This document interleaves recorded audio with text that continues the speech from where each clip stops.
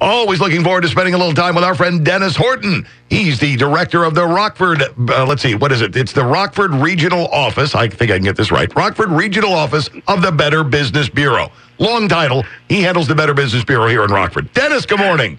Good morning, Riley. How are you? I'm doing really well. I got a little hung up on the title, but other than that, we're good. We're I good. don't mean nothing. And uh, this segment I always look forward to because I always hear from people who send me a quick note. Hey, thanks. I wasn't aware of that. Dennis uh, saved me some money this morning by telling me about this, that, or something else. Today, whaling cyber criminals going after the big fish. It is the same. It's a, a bigger um, crime than uh, just phishing and spear phishing, where the cyber criminals would just uh, send out robo uh, attacks. Um, but now they're targeting the the top of the chain, the CEOs, the CFOs, uh, the decision makers in in companies, to get them to well send money uh, for for any number of reasons. The the issue here is that uh, the CEO uh, will receive an email from uh, uh, uh, someone saying that they either owe money or that they you need to send money to them for a myriad of reasons, Riley.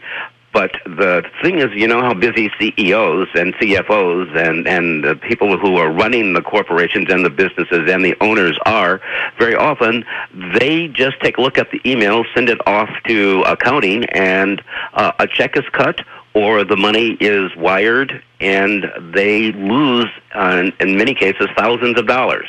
Wow. Or or they will provide information on employees. In one cyber attack, uh, they ask for the uh, social security numbers and uh, IRS information on employees, and it was turned over, and that was at Seagate in, in California. What uh, is interesting about this is that we found out about this from our uh, Steve Baker, who is the BBB's international investigator. He he notified us about this a couple weeks ago, and I did a report on this. But two weeks ago, there were there were no attacks here locally, and inside of less than uh, uh, two weeks, uh, we have two. Uh, uh, the Reverend Andrea Skornick at Emmanuel uh, Episcopal Church uh, received an email uh, saying uh, uh, that, pardon me, she sent an email was sent out under her name to parishioners and other people in her contact list, saying that she needed help. Uh, didn't define what that help would be, but that when parishioners uh, receive uh, an urgent email from clergy, they are quick to respond. Uh, fortunately, they caught this very quickly, and no one was duped. And then, in our own company here at the BBB, our CEO, uh, there was an email sent to the New York BBB office supposedly from our CEO, Steve Bernas in Chicago, that uh, we needed to have $5,000 urgently wired to us. Um, the tip, as Steve is fond of saying, the tip off to the rip off is that uh, the the method by which we were to receive the money was through iTunes uh, gift cards. Oh, sure. Yeah. The standard operating procedure for businesses. Right. Exactly. You know, so when New York received that request, that you know they did see it, they did look at it, and they immediately called and said, "Did you know these things are going out?" Uh, the problem, again, is that uh, it didn't take very long for this to to become a local issue, and it it, it warrants. Um, repeating and, and warning people to be on the lookout for. Check your email.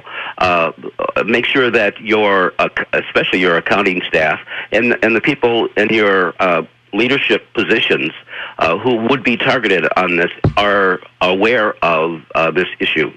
Oh, absolutely. Yeah. And uh, I, you, you make a great point. They went after, okay, this person's really busy. They'll get this. They'll see this. They'll forward it along. Next thing you know, maybe somebody will cut us a check. And that's exactly what happened. Exactly.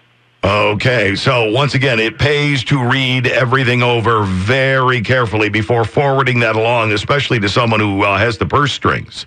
Yeah, it, it, you know, and, and it's it's an easy uh, uh, scam to to know. Um, the the red flag is pretty big.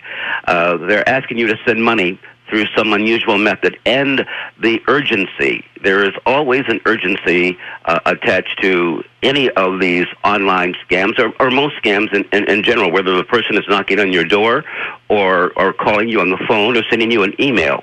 Uh, they push the urgency and the need to get this done right away. Yeah, so we don't want you to think about this too much. Just get that check cut and get it sent off and avoid something bad happening. Exactly. Uh, until it turns out that was the bad thing that happened. All right, so that's called whaling. Whaling. The wow. big fish. Yeah, the whaling for the big fish. I, I love the, the fact that creative names are given to each one of these scams, too. it seems to work every single time. What about the uh, check fraud scams? They have been, uh, since, you know, I, have been around here uh, for uh, a decade and a half, and there have always been uh, check scams, lottery checks that people get in the mail, uh, a check for a grant that you're getting from the uh, from the federal government, uh, all kinds of fake checks uh, have been arriving in people's mailboxes for 15, 20 years that sure. I've been involved with the BBB. Problem is that this even though with technology, a lot of our financial transactions are done electronically. However, the check scam fraud is on the rise. People are falling for it more often. Um, I mentioned Dwayne often uh, walked in the other day and handed me a check and said, uh, "Here they are." Um, so what we have done at the BBB, along I mentioned his name earlier, Steve Baker, who is our international uh, investigator, did a four-month study on on the check fraud and found that uh, 500,000 people a year fall for this, and uh, we think that number is really low, given that many people don't uh, inform us or inform anybody uh, about the fact that they were duped uh, with this check fraud. I and what? Go ahead. The, and the other uh, important uh, note is that uh, we always point to uh, senior citizens as those who are the victims. Well, in this case, it is people who are 21 to 39 uh, who fall more frequently for these uh, fake checks. And the important thing to remember is that anything that you deposit in your account, you are responsible for. So when the the uh, scammer asks you to forward uh, a portion of of the money that uh, you have deposited uh, to them, usually around $2,500 or so, to them, you are now responsible for that $2,500. Uh, just because a check uh, uh, is deposited into your account doesn't mean that it's good or that it's cleared. It could take uh, two days to two weeks before your bank notifies you that you have deposited a counterfeit check. And if you've spent any of that money, they expect you to pay it back.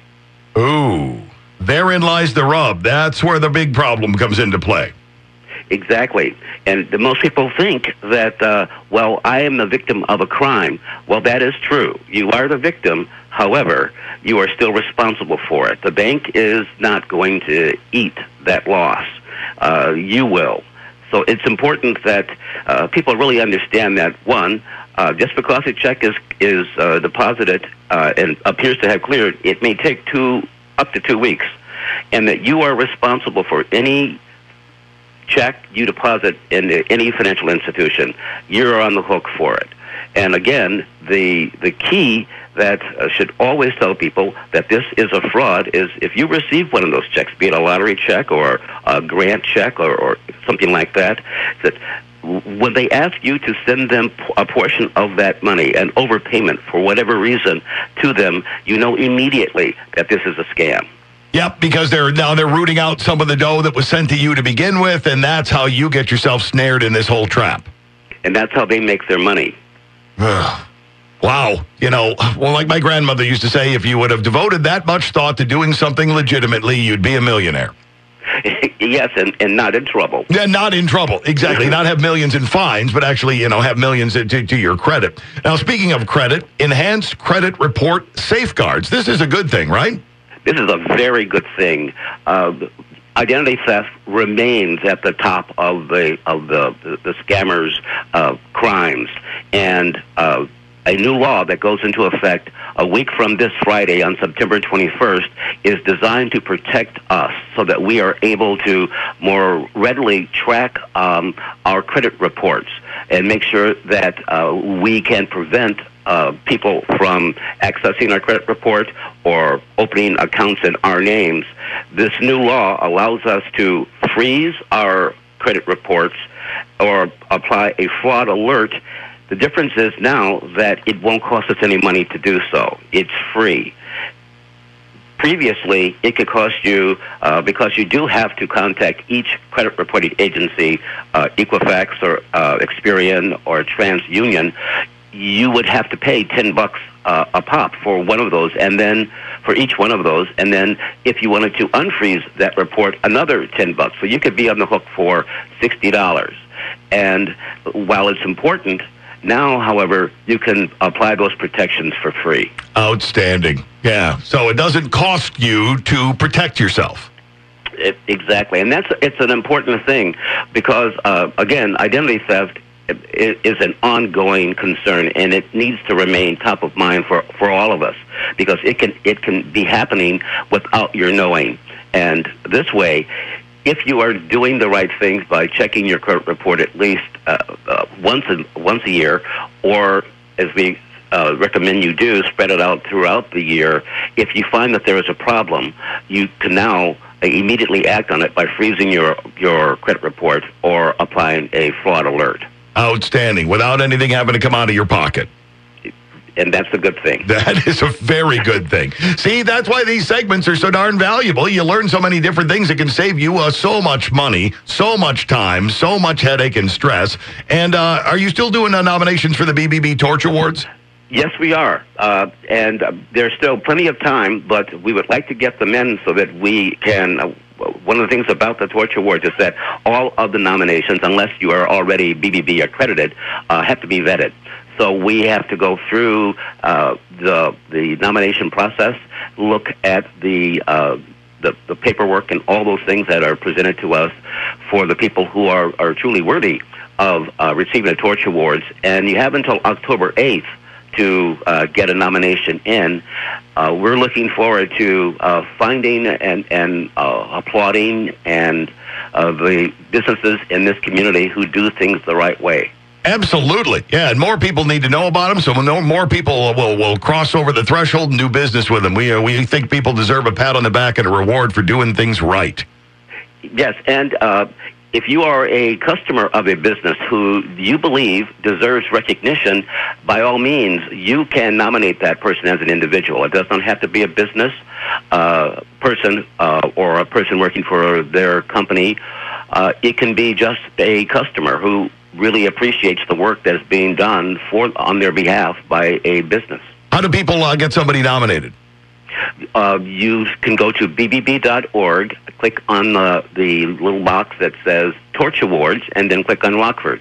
Or you can give us a call here at the office, and we'll walk you through it if you have a problem. Just that easy. That's what the Better Business Bureau is doing for you. Uh, you know, saving you money, saving you time, saving you headaches, and shining the spotlight on people who are doing things the right way.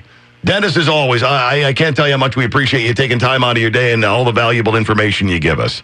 And thank you for the time that you provide for, to us. Not a problem. Have a great rest of the week. You too.